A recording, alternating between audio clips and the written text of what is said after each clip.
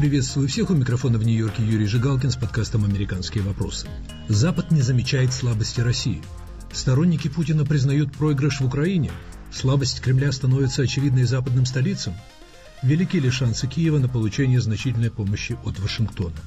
Эти и другие вопросы мы обсуждаем сегодня с историком, главой Института Центральной Азии и Кавказа Американского внешнеполитического совета в Вашингтоне Фредериком Старом, директором Института Джорджа Буша, в прошлом помощником госсекретаря Дэвидом Кремером и историком из Центра Дэвиса Гарвардского университета Джоша Рубинстином. Россия терпит поражение в войне в Украине, но этого по необъяснимым причинам не замечают политические элиты западных стран, свыкшиеся с мыслью о том, что шансов у Украины на победу нет, и ей необходимо договариваться с Путиным. Таков основной тезис статьи Фредерика Стара в журнале National Interest – Свой вывод, выбивающийся из доминирующего ныне в Вашингтоне нарратива, Стар делает на основании анализа высказываний и заявлений заметных российских фигур. Да, поражение России на поле боя пока не очевидно, оно маскируется отчаянными усилиями Кремля, не считающимся с гигантскими потерями на фронтах, но поражение в умах, по мнению историка, очевидно. И это главное. Он приводит в статье, например, высказывания видных думцев Картополова, Матвеичева, телеведущих Скобеева и Соловьева, военкоров, все они предупреждают о приближающемся поражении России. Вопрос, на который у Фредерика Стара нет ответа, заключается в том, почему американские комментаторы не замечают этих настроений и что необходимо сделать для того, чтобы Украине была оказана помощь, которая, он убежден, поможет ей одержать победу и эта победа на самом деле недалека. Слово Фредерику Стару. Каждая война везде связана не только с ситуацией на фронте, но тоже с ситуацией внутри страны. И надо прямо сказать, что эта ситуация ужасная. И это мое впечатление не важно в этом отношении. Это заключение основано на словах самых русских, даже зи-блогеров – которые на Telegram и другие сайты с утра до ночи, они очень-очень серьезно и сильно критикуют ситуацию не только на фронте, но особенно, это особенно важно тоже, внутри страны, что эта война отрицательно влияет на домашние обстоятельства русских, это относится к газу, это относится к ситуации в магазинах, это относится даже к отоплению. Я удивляюсь только в одном, что это неизвестно на Западе. Я могу сидеть спокойно в Америке и смотреть доклады и впечатления русских блогеров. Почему это неизвестно нам на Западе? Это стыдно, мне кажется. Но ситуация очень плохая. И даже на крайней правой русской политике это очень-очень смело отражается. Например, Зюганов. Смотрите, что он сказал несколько раз в Думе они очень сильно и прямо критикуют не только объективные обстоятельства внутри страны, но самого Путина. Это факты. Вы в своей статье приводите немало ярких высказываний Z-блогеров и не только блогеров, про кремлевских думцев. Чьи заявления, по вашему мнению, заслуживают большего внимания? Стоит вашим слушателям обратить внимание на ежедневные доклады в Думе там выступают и крайние консервативы, и крайние сравнительно радикалы. Они поют вместе. Они говорят о ситуации в регионах. Мы страдаем. Наша зарплата не хватает. Наш завод закрыт. Это слова и Z-блогеров. И официальные наблюдатели. Например, стоит посмотреть, что говорит Сергей Мардан. Он очень прямо теперь реагирует на действительность. Он понимает ситуацию. Не только он, бедная Ольга Скобеева, она в течение нескольких лет передала абсолютно фальшивые доклады, но теперь она признает публично, что мы не можем существовать при атаках украинцев. Шахназаров, он говорит, что все это доходит до крах гражданскую войну и так далее. Они все официальные личности. Владимир Соловьев, он прямо сказал, что мы не можем теперь выиграть. Это невозможно. И я удивляюсь только, что на Западе не слушают. Это мне кажется неудивительным, учитывая, что многочисленные прогнозы западных аналитиков о небольшом запасе прочности российской системы, которая не выдержит бремени войны и санкций, пока не оправдались. Ведь путинский корабль все еще на плаву. Год тому назад никто не критиковал Путин прямо. Они критиковали политики или генералы, а потом, примерно четыре месяца тому назад, начали говорить о нашем лидере, а потом говорят о самом Путине. Это течение видно. Они очень-очень открыто критикуют ситуацию. Они сами, это не я говорю, они сами убеждены, что выхода нету. Фредерик, в последнее время в американской прессе очень заметно утверждается тезис о том, что эта война затемнулась, что у путинской России достаточный запас прочности, чтобы продолжать войну, в то время как у Украины недостаточно сил для победы. Дескать, пришло время для мирного соглашения, пусть не на самых выгодных для Киева условиях. Эти настроения стали особо заметны после победы Трампа на президентских выборах. Вы, насколько я понимаю, считаете, что призывы договариваться с Москвой, мягко говоря, преждевременны? По-моему, это ошибка теперь. Почему? Потому что Путин ищет теперь время. Пытается выиграть время. Да, и поэтому очень важно, чтобы украинцы и их друзья в Европе и в Америке поняли, что его ситуация отчаянная теперь. Не только на фронте, но внутри страны. И каждый день небо станет чернее. Крах экономики – это совсем другой, но очень-очень важный вопрос, потому что у него был фонд от газа. Он почти пустой теперь.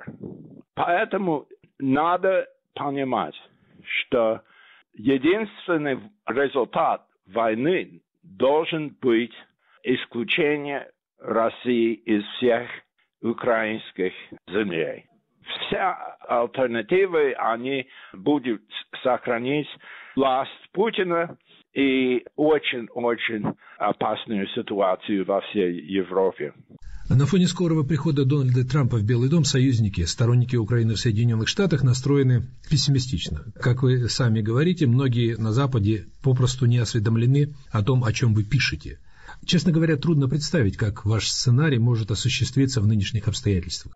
Я уверен, что менталитет Запада будет революция течение нескольких месяцев именно о ситуации в России понимание ситуации фундаментально меняется.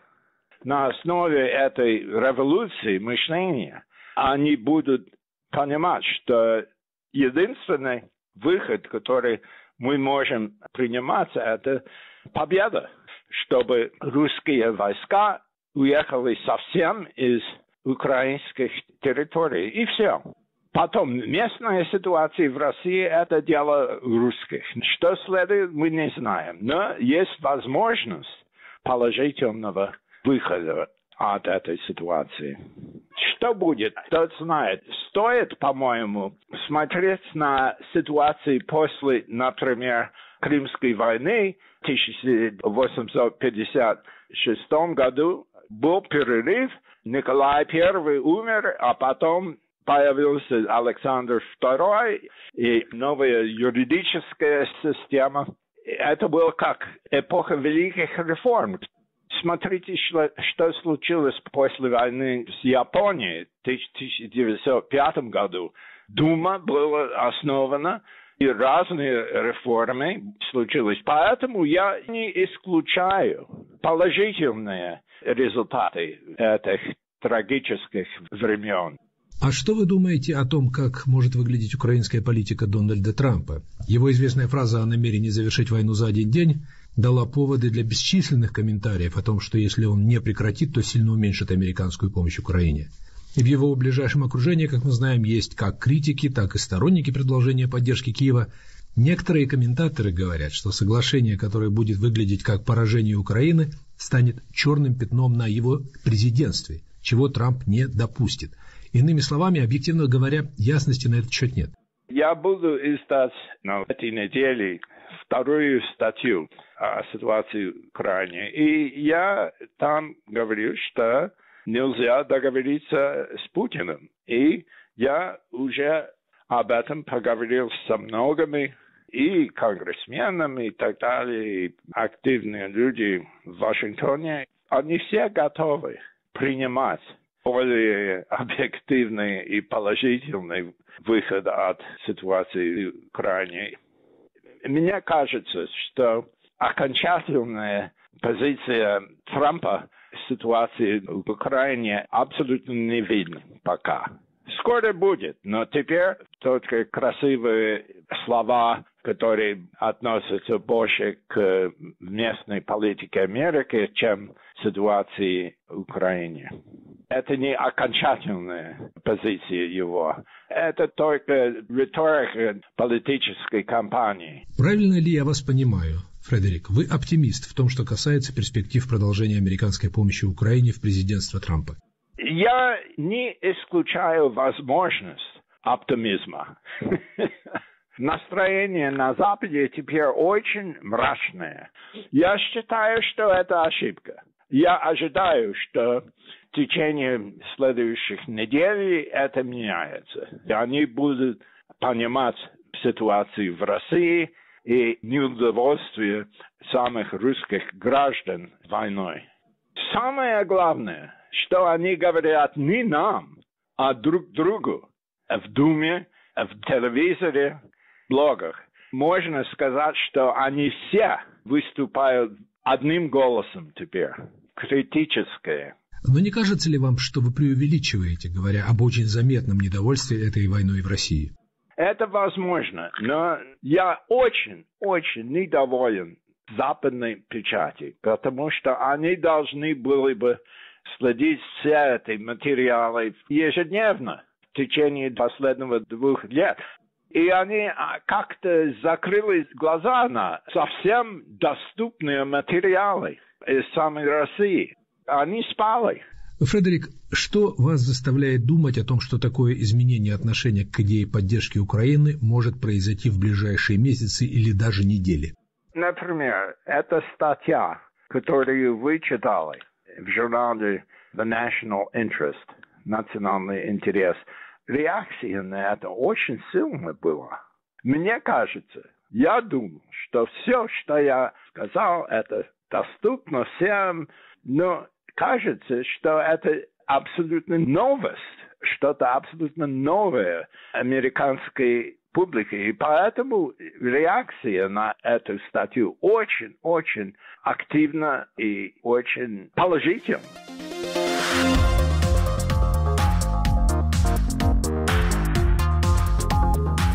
Мы вернемся к разговору с Фредериком Старом, Дэвидом Кремером и Джошуа Рубинстином. Оставайтесь с нами.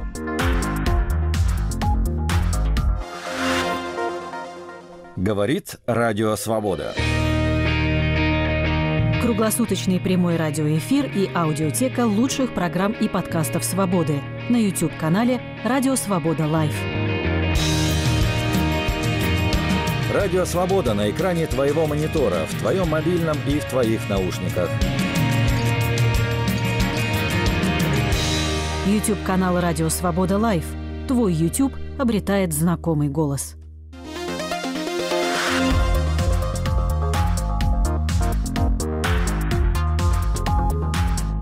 Это Юрий Жигалкин с подкастом «Американские вопросы». Запад не замечает слабости России. Мои сегодняшние собеседники – Фредерик Стар, Дэвид Кремер и Джошуа Рубинстин. Прогноз историка Фредерика Стара о том, что западные столицы увидят слабость России и будут готовы предоставить Украине помощь, необходимую для победы, пока не готов разделить Дэвид Кремер. Я бы хотел, чтобы этот прогноз оказался верным, но не уверен, что это так.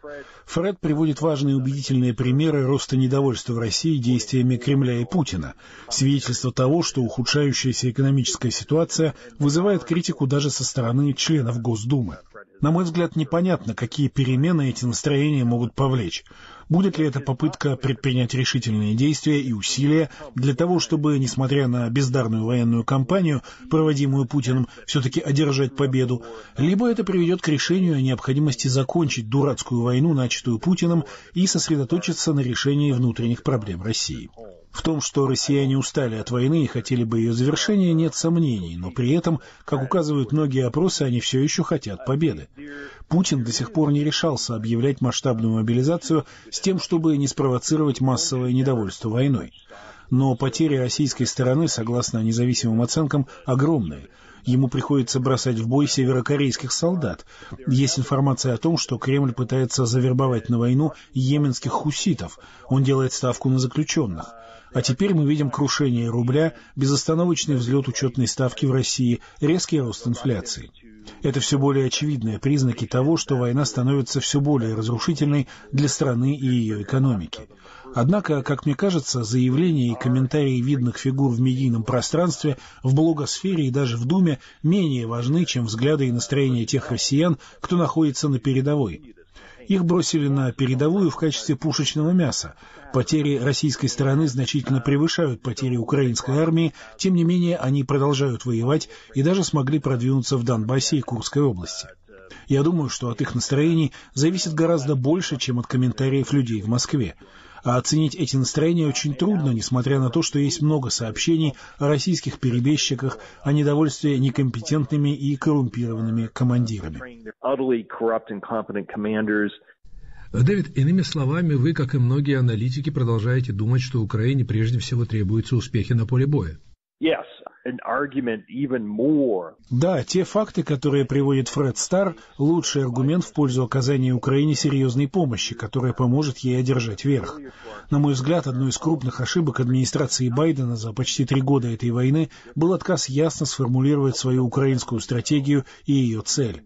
Этой целью должна была быть победа Украины, и наша стратегия должна была быть нацелена на это. В действительности Байден считал, что США должны помочь Украине обороняться от российской агрессии. Результатом этой ставки на оборону было то, что Киев получал оружие, которого едва хватало на ведение оборонительных действий. Даже контрнаступление в 2023 году украинцы были вынуждены начать, не имея достаточного количества техники и вооружений. В последние недели после поражения на выборах президент Байден, словно признав ошибку, дал санкцию Украине на использование американских ракет для ударов вглубь территории России. Он отдал распоряжение об экстренной отправке в Украину дополнительных вооружений с тем, чтобы полностью использовать средства, выделенные Конгрессом еще прошлой весной. На всем протяжении войны Белый дом действовал чрезвычайно медленно, сверхосторожно. Почти на каждую просьбу Киева о выделении нового типа вооружений следовал отказ, затем, после длительной паузы, согласие. Но время было потеряно. То же самое произошло и с последним пакетом помощи. Получи Украина это вооружение весной, ситуация на поле боя сегодня могла быть иной. Я считаю, что шансы на победу Украины при достаточном уровне поддержки остаются высокими. Можно только представить, чего украинцы могли достичь, имея не в достатке современное вооружение, если они смогли в нынешних условиях нейтрализовать российский Черноморский флот, если они смогли атаковать российские военные базы и нефтеперерабатывающие заводы практически на всей европейской территории России, используя беспилотники собственного производства. Да, украинцы сейчас оказались в тяжелой ситуации, но, я согласен с Фредом Старом, в не менее тяжелом положении находится и Россия. Это невозможно было представить накануне вторжения России в Украину в 2022 году, когда Путин в купе с множеством аналитиков, в том числе и американских, был убежден, что падение Киева будет делом нескольких дней. Почти три года спустя украинцы не просто сопротивляются. Война довела Россию до порога кризиса, но украинцы платят за это ужасную цену. Э, Дэвид, вы и Фредерик Стар убеждены, что Украина может и должна победить. С другой стороны, настроение в пользу договоренности с Владимиром Путиным в Вашингтоне очевидно. Похоже, с этой мыслью постепенно свыкаются и в Киеве. Как вы думаете, чья точка зрения возобладает в конце концов? Без сомнения, давление в пользу достижения соглашения с Россией растет. Поэтому мы слышим все больше заявлений украинской стороны о готовности к переговорам. Это отражают и результаты опросов в Украине, указывающие на уменьшение числа тех, кто выступает за войну до победы. Я полагаю, что в большой мере это результат того, что украинцы не уверены в продолжении поддержки со стороны Запада и главным образом Соединенных Штатов. Эту взаимосвязь можно было проследить по тому, как украинцы реагировали на отказ Конгресса одобрить пакет помощи осенью прошлого года, а затем на его одобрение в апреле нынешнего года. Поэтому я продолжаю думать, что победа Украины возможна, если мы предоставим им необходимую помощь и не будем вводить ограничения на использование вооружений. С моей точки зрения, Соединенные Штаты сделают большое одолжение Путину, если они подтолкнут Украину к заключению соглашения с Россией, которым будет предусматриваться оккупация России и украинской территории. Такое решение не обеспечит мир. Россия, восстановив свой военный потенциал, будет использовать Крым, Донбасс как плацдармы для новых атак против Украины. Лучшим способом закончить войну будет предоставление Киеву средств, необходимых для победы. Я полностью согласен с Фредом Старом, что победа Украины необходима, поскольку это не только поможет нейтрализовать агрессивные инстинкты Кремля, но и будет предупреждением для таких стран, как Китай. Пекин должен осознать, что попытки агрессии против Тайваня обернутся для него тяжелыми последствиями. В этой ситуации поражает и то, что речь идет не только о военной помощи Киеву. Возьмем санкции, которые постепенно ужесточаются. Вашингтон ввел санкции против одного из ключевых российских финансовых игроков – «Газпромбанка» лишь на днях. Это должно было произойти в 2022 году. Да, президенту Байдену нужно отдать должное за то, что западные союзники сохраняют единство в том, что касается поддержки Украины. Ей была оказана немалая помощь, но негативные последствия его чрезмерной осторожности очевидны. Я, например, думаю, что резкое падение курса рубля не случайно совпало с введением санкций против «Газпромбанка», поскольку он играл ключевую роль в системе оплаты иностранными потребителями поставок российских энергоресурсов. И этого результата можно было достичь гораздо раньше, если бы Вашингтон действовал более решительно. Э, Дэвид, сейчас строится много предположений относительно того, что можно ожидать от Дональда Трампа после его прихода в Белый дом. Большинство аналитиков считает, что Киеву от этого ничего хорошего ожидать не приходится, хорошего в смысле продолжения или увеличения помощи, хотя кое-кто считает, что поражение Украины, очевидно невыгодный для нее мирный договор, будут темным пятном на президентстве Трампа, чего человек с амбициями Трампа не допустит. Ваши прогнозы? Я не хочу строить догадок о том, как будет выглядеть украинская политика Дональда Трампа. Не будем забывать, что в 2017 году именно он, а не его демократический предшественник, согласился предоставить Украине боевое оружие, противотанковые ракеты «Джавелин». Именно он, вопреки протестам Германии, подверг санкциям корпорацию, владевшую Северным потоком. Я думаю, что действия Трампа сейчас попросту непредсказуемы.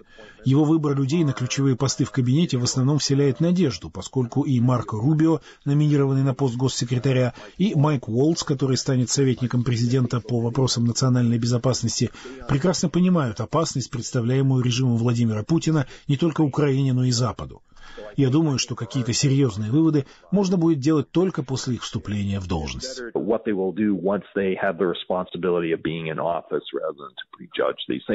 Джошуа Рубинстин считает, что если делать прогноз о том, что приход Дональда Трампа в Белый дом может значить для Украины, то этот прогноз будет негативным.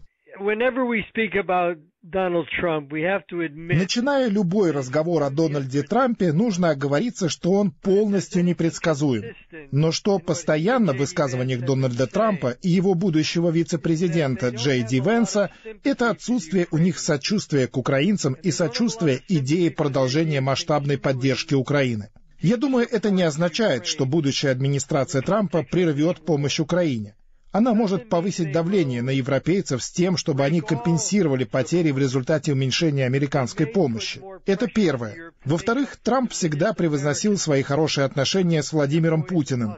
Я не исключаю, что в духе этих заявлений он захочет сделать что-то приятное для Путина, например, вынудить украинцев пойти на соглашение, предусматривающее потерю Украины части своих территорий, что лежит в основе требований Путина. Я подозреваю, что Трамп может пойти на подобный шаг, поскольку он не хочет, чтобы эта война продолжалась длительное время во время его президентства. В-третьих, среди его назначенцев заметны деятели, которые скептически относятся к идее поддержки Украины. Наряду с Марко Рубио и Майком Уолтсом, которые считаются сторонниками помощи Украине, кандидат Трампа на должность главы национальной разведки Талси Габбард и кандидат на должность министра обороны Пит Хексет неоднократно высказывались за отказ от поддержки Украины. Поэтому я думаю, что в отличие от первого президентского срока, когда его окружали люди, считавшие важной поддержку Украины в ее противостоянии России, во второй президентский срок от Трампа можно будет ожидать иной политики.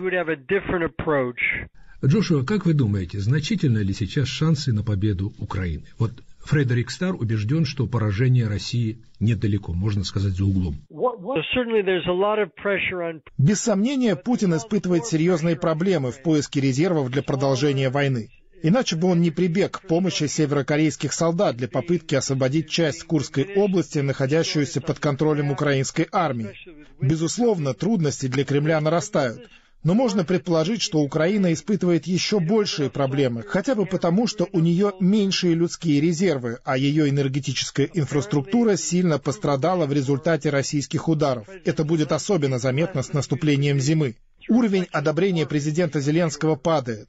Это отражает всеобщую усталость украинцев от войны. Кстати, усталость заметна и в Соединенных Штатах, где задаются вопросы о достаточно значительных расходах на поддержку Украины. И эти вопросы наверняка на уме и у Дональда Трампа. Я думаю, что если дело все-таки дойдет до мирных переговоров между Украиной и Россией в ближайшее время, то основным вопросом будет вопрос о готовности Киева уступить какие-то территории России. Это будет тяжелейший вопрос для Украины.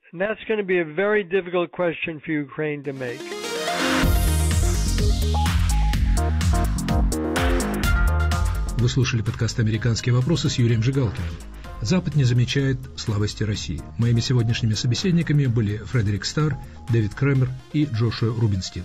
Слушайте «Американские вопросы» в эфире на сайте «Свободы», на канале подкастов «Радио Свобода» на YouTube, на приложении TuneIn. Подписывайтесь на подкаст, который доступен на всех основных платформах подкастов. Всего доброго!